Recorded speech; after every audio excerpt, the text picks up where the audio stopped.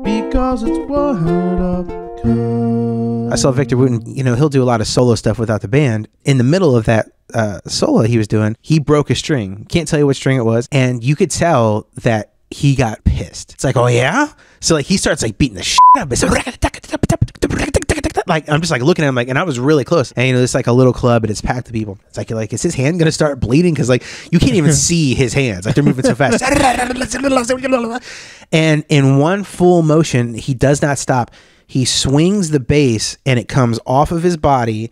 And as it comes off, he slides it out over the crowd.